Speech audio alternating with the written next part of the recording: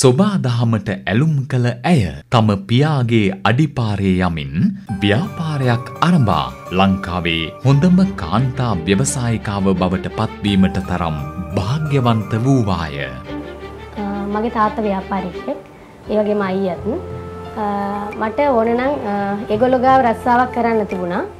ඒත් මම රස්සාාවකට කැමති වුණේ නෑ මට ඕන වනේ මගේම දෙයක් කරලා ඉස්සරහට එන්න.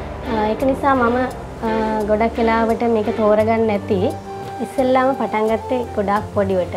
ලෑලිවලින් ගහලා ඒව උඩ පැලතියලා පොඩි නෙට් කැල්ලක් තියල තමයි ඉස්සල්ලාම අපි මේක පටන් ගත්තේ. එතනිදා මේ වෙනකං මම ගොඩක් මහන්සුනා මම විතරක් නෙමේ මගේ මහත්තයා මහත්තගේ අම්මයි තාත්තයි ගොඩක් මතක් කරන්න ඕනේ. ගොල්ලොන්ගේ ලොකු සහයෝගයක් තියෙනවා මට. මම ගොඩක් සතුටේනවා මගේ ගමන ගැන. මොකද මම පොඩිවට පටන් අරගෙන එම්මට නැසරි හතරක් තියෙනවා. වාහන දෙකක් තියෙනවා. ව්‍යාපාරය වෙනුවෙන් තව නැසර එකක් දාන්න බලාපොරොත්තුවෙන් ඉන්නවා. මගලඟ වැඩ කර එක සේවකයයි. මේ වෙනකොට සේවකයන් දා හතක් විතර අපි ළඟ වැඩ කරනවා. දැනට අපි රෝඩ් බෝල් ගස් වර්ග එලවලෝ පළතුරු පැල මල් වර්ග ඒ වගේ විසිතුරු පැල ඉන්ඩෝප්ලාන්ට් කැක්ටස් වර්ග ගොඩක් වර්ග අපි වගා කරනවා. ඒ වගේම අපනායන ඇන්තූරියම් වගාවත් අපි මේ වනකොට කරගෙන යනවා.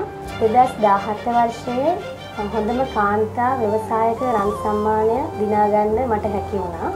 ඒ වගේම දෙදස් දාහත වර්ෂයේ අන්ගධ්‍ය දිස්ත්‍රික්කෙන් හොඳම රන් සම්මානය දිනාගන්න හැකි වුණා. ඒ වගේම ගොඩක් ට්‍රේනිම් ප්‍රෝග්‍රෑම් වලට මම සම්බන්ධ වෙලා තියෙනවා.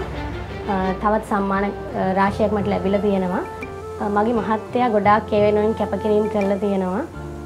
මට මතකයි දවස්සල මාව ට්‍රේනිම් ප්‍රෝග්‍රෑම් වලට දාලා එයා බබාව බලාගෙන එළියෙන් ඉන්නවා. මම වෙනුවෙන් සහ මගේ ව්‍යාපාරය වෙනුවෙන් ලොකු කැපකිරීමක් කරලා තියෙනවා.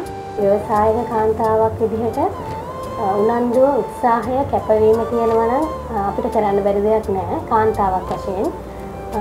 ඒක නිසා ගෙදරට වෙලා ඉන්න කාන්තාවන්ට කියන්න තියෙන්නේ මගේ කතාව අහලා සුදුසු සොයන් රැකියාවක් කරලා පවුලට බරක් නොවී රටට බරක් නොවී කාන්තාවක් වශයෙන් ලෝකය ජයගන්න ඕන කියලා.